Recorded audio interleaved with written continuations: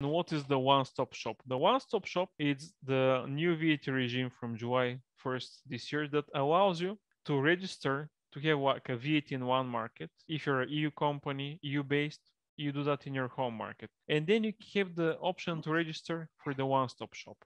The one-stop shop allows you to do to storage the goods in one market, one location in Europe, and to deliver to B2C clients across Europe without the need to do multiple registrations, meaning that instead of doing like 27 registrations for VAT, you have only one, which is a great way to make like new sellers to expand because you don't have to deal with bureaucracy in multiple markets. You just need one VAT, one one-stop shop.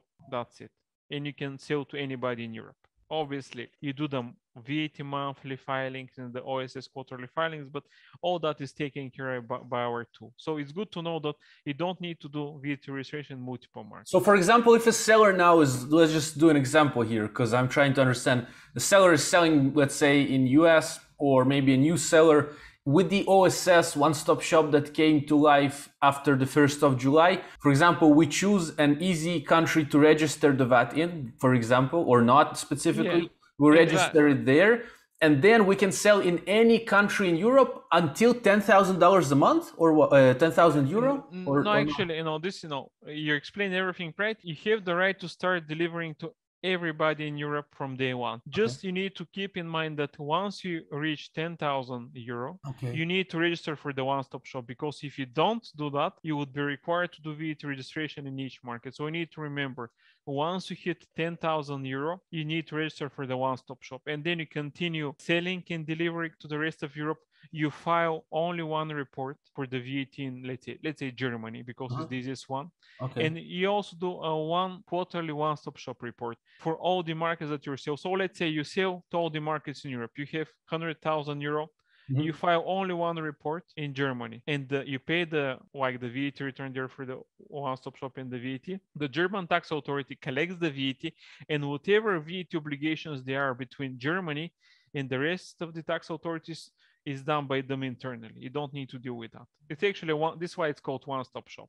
You and under ten thousand euro, we don't need even to register. Like a seller no, can just no, start. No, no, you need the VAT, but you don't need because you're storing goods in this market. But if you never reach the ten thousand k, of course you don't need to register. But the reason it's ten thousand is very small revenue, meaning that yeah. it's it's actually introduced so you can hit that and you get the one-stop shop but also you know for big servers it's a big advantage. So it's a very easy way to expand because otherwise you would need multiple VAT registration. So this is the main so main thing. Right. So and here it says what is uh, our solution? So the solution is that what you help with you help with the vat registration. As you can see german flag here. And you help register the oss and then filling monthly the vat exactly. This is much... this is this is the process now yeah, i'll show yeah. you the tool but this is mm-hmm. the process and this is what mm-hmm. we recommend.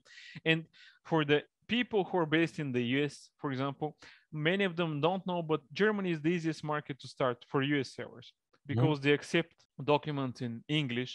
Uh, probably many, a lot of people don't know that. You don't need to translate them to German. Then a specific tax authority deals with American sellers, meaning that they have the quickest period of registration.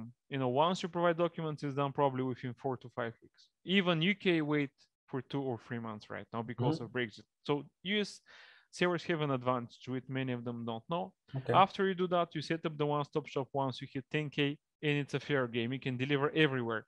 Eventually, if you see that, let's say France, Italy, Spain, Netherlands, or the other markets are you're doing great sales, then you can establish a storage in the in this market and then you would need set up a VAT there. But the one-stop shop it's a great way to establish yourself in one market and start selling in the in doing business across Europe without the need to do multiple ones. Meaning that you can A B C D F G test all the markets. As simple as that. With the least number of bureaucracy and paperwork, which everybody hates. I hate it from experience.